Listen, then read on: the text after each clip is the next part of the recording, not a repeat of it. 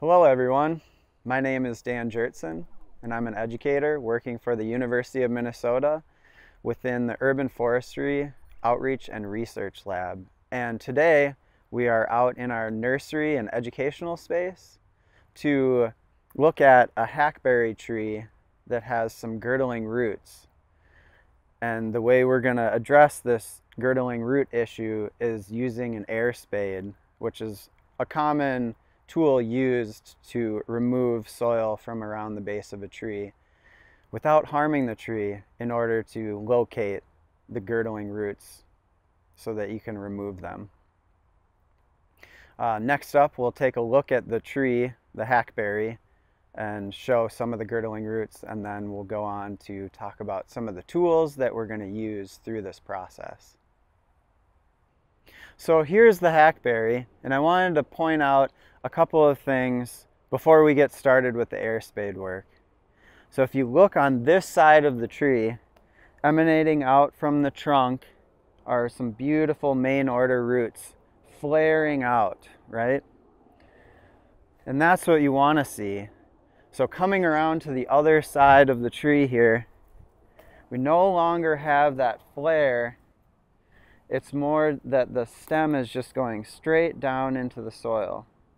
And even beyond that, this section right here has a bulge to it and it's almost going back in.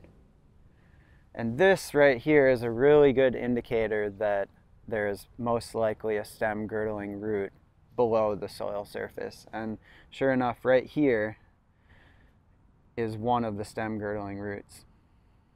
Once we get in here with the air spade and start blowing the soil away, we may find more, but we know that for sure there's one right here.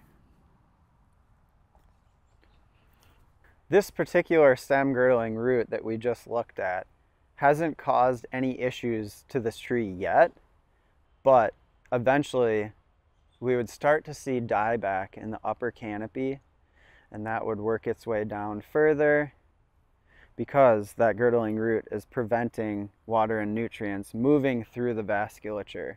So by addressing this issue and removing that stem girdling root, we're ensuring that this tree can grow in the landscape much longer. The tool that we're going to be using to excavate around the base of this tree is called an air spade. And here's a very common air spade out in use. And the idea is that this is hooked up to a compressor which feeds air in through this hose. And it's enough air pressure to be blasting away soil from around the base of the tree. You could use a shovel to just hand excavate. It's a process that's more time consuming and then there's the potential that you might damage roots while you're using the shovel around the base. So this tool ensures that you're removing soil without damaging the tree. When you're using an air spade, it does get very messy. So I would recommend utilizing a respirator. This one also has a face shield on it. If you just have the respirator around the mouth area, then you can use a flip down visor, which would protect your eyes and your face from debris. Hearing protection is a must. And then once we have the soil blown away and we're exposing those girdling roots, a chisel and then a hammer is a great um, combo of tools to use to be extracting those girdling roots from the base of the tree. What do you say we fire this compressor up and start blasting some soil away?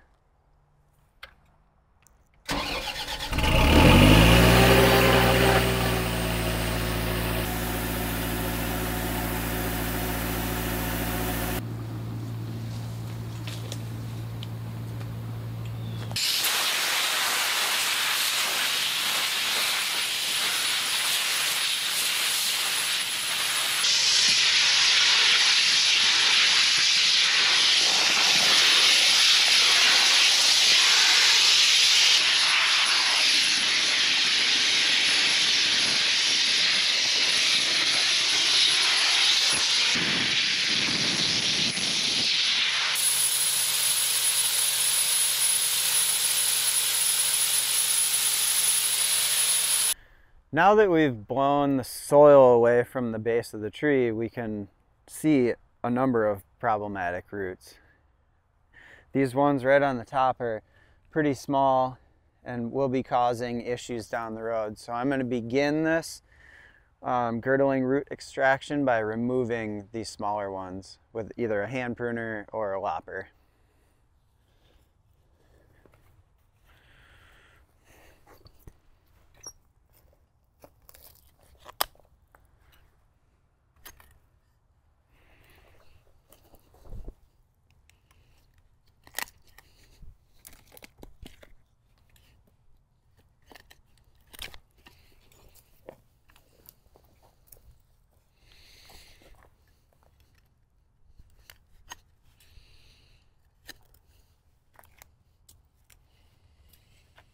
So there were several kind of surface future girdling roots in this whole area that I've removed to expose this more problematic one.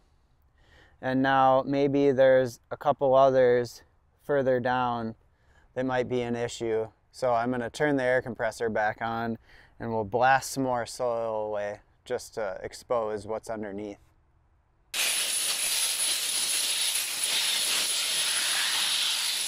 So after all that excavation, now we've really clearly identified that this is our main issue.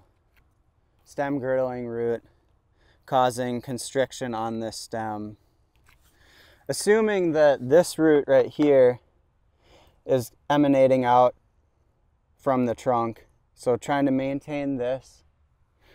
Similarly, right here, this is probably the root that would form a flare, but it's being constricted by this girdling root. So we'll maintain this tissue and this one with trying to sever both ends of this stem girdling root with the chisel.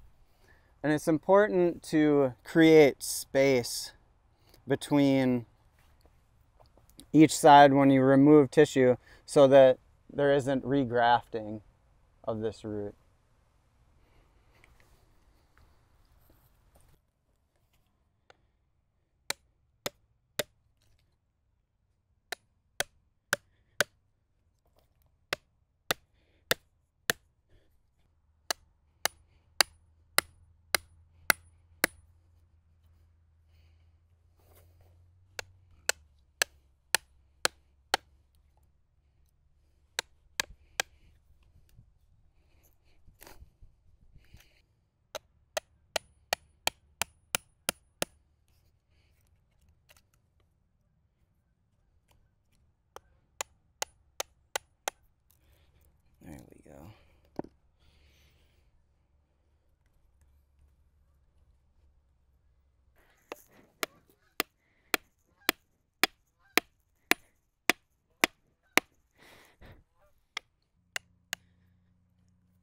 So I've completed the root pruning on this tree at this point, and I wanted to note the space that I've created on both sides of this stem girdling root, ensuring that there is no regrafting that happens. We can most certainly revisit this tree in the future if there are more stem girdling roots that cause issues, but for now this is sufficient. And for any other type of stem girdling roots on other trees and questioning how many of them to remove, just take into account tree species. So slower growing trees remove less, faster growing trees you could count on removing more, and tree maturity. So younger trees could take more root pruning versus more mature trees. And lastly, you can always revisit the tree in the future and take care of more stem girdling roots. And this completes our video on stem girdling root extraction, showcasing the use of an air spade. Join us next time.